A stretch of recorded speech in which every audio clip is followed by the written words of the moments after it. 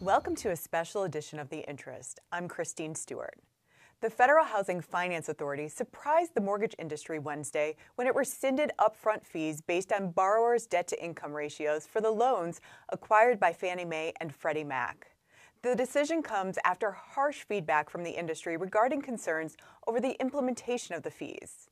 FHFA Director Sandra Thompson says she appreciates the valuable dialogue and plans to provide additional transparency on the process for setting single family guaranteed fees, as well as requesting public input on the matter.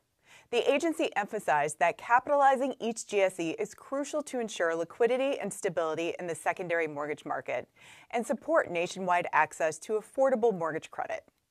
Further details on the upcoming request for input on the single family guaranteed fee pricing framework will be released shortly.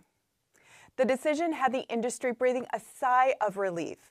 Bob Broeksmit, president and CEO of the Mortgage Bankers Association, expressed his satisfaction with the decision and urged the FHFA to continue engagement to improve clarity and transparency regarding the pricing framework. To read more about this development, go to nationalmortgageprofessional.com.